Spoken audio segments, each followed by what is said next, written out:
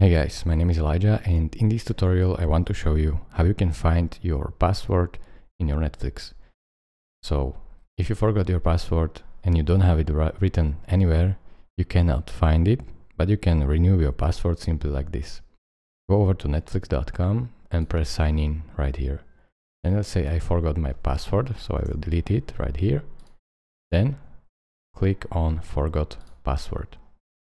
Now it will ask you to update your password via email or phone. So choose which one you like. I will send it to my email. So I will click on email. Here type your email address and press email me. So type it here and press email me. As you can see, email has been sent right now.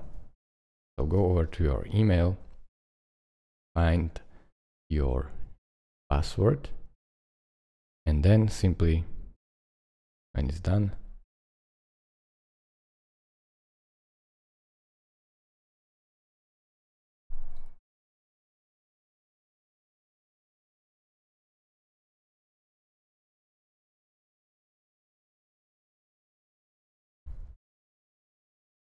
click on reset password right here. This will open up Netflix account and here you can type your new password so type it here and underneath type it another time. So we'll make no mistake and click on save.